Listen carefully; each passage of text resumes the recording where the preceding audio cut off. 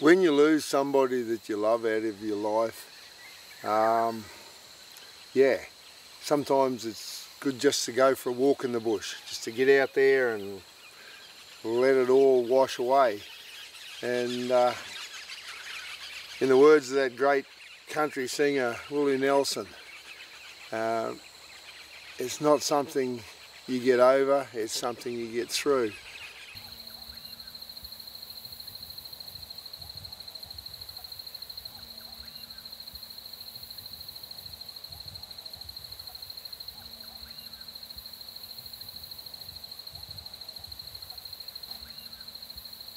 Now, uh, the beauty of life is that it always renews.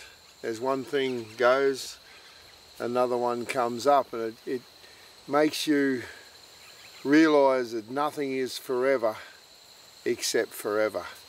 So uh, one thing that does get us through tough times has always been our Border Collie dogs. Um, very, very close to Judy and I. Uh, I've been breeding them now for you know, 35 years or more.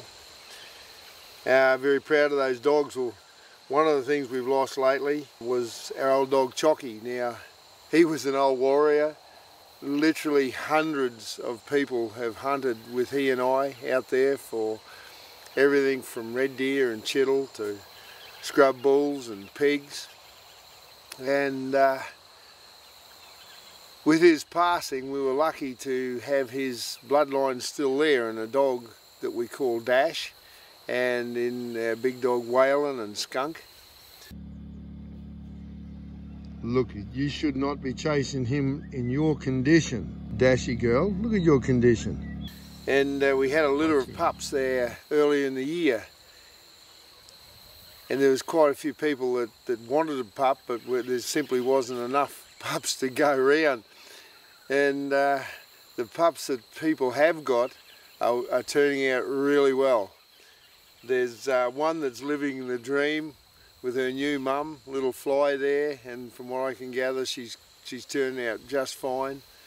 Um, we've got another little guy up there in Rockhampton that's already chasing pigs, uh, just six months of age, and he's already showing tremendous style. He's showing the ability to to listen, come back when he's called, mm. be steady, and uh, go out and use his own initiative, which is exactly what we want to see in our dogs.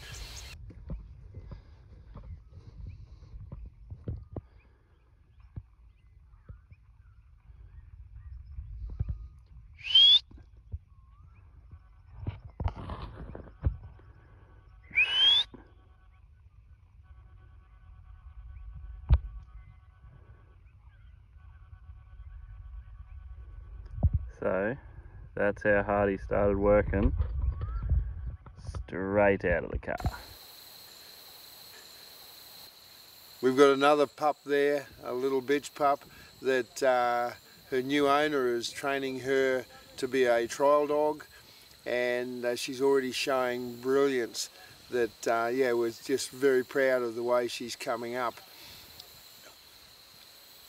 Another little pup was brought back to the uh, to the lodge there recently, and uh, even though this pup has been sort of spent the last six months in sort of suburbia, as soon as it was presented with our little uh, pet Rusa deer there, our little quiet bottle-reared Rusa, then young Prince showed that he has that quality as well. So uh, the pups are really turning out good.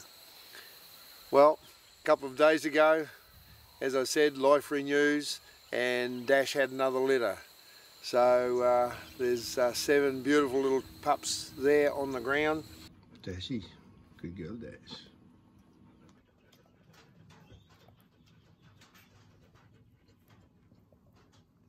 What do you reckon, Mum? What do you reckon, Mummy? Dashy. Hey, what do you reckon? Look those. Aren't they beautiful? Look at this.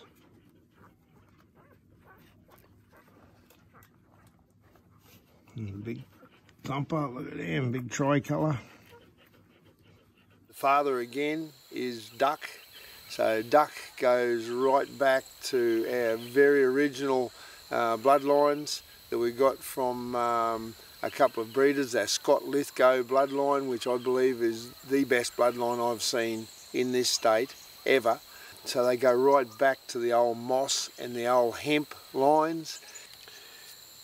And now as we're going through these crazy times in the world, when we're seeing tyranny take over from freedom, uh, when things get you down, I know a lot of people are contacting me all the time that they just cannot believe with the way society is going. And my message to them is take a bit of time to breathe, get out in the bush, go for a walk. If you've got a border collie, take that with you because they're the best mates you can have. And uh, have faith, be strong. Um, Love those around you because you don't know how long you've got them for. And uh, above all, stand upright, square your shoulders and fight hard.